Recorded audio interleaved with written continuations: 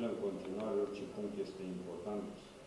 Practic, punct, puncte ar fi bine să mai obținem. A fost bine că am obținut cele trei puncte, prima victorie la media și în returul ăsta.